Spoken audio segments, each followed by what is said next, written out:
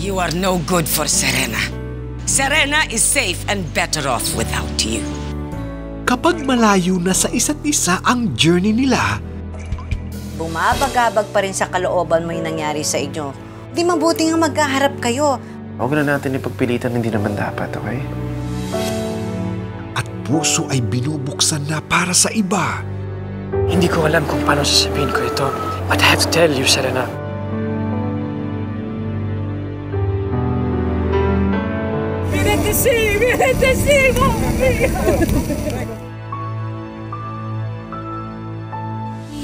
May magagawa pa ba ang destiny para magkalapit ulit sila? Ah, scusi, signore.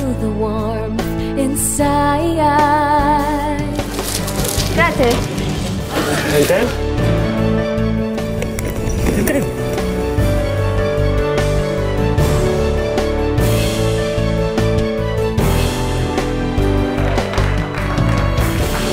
Fate will bring them closer.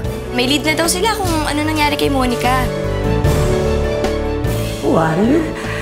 I've been looking for my daughter, Monica. Serena Marquesa, you are my daughter. Dolce Amore.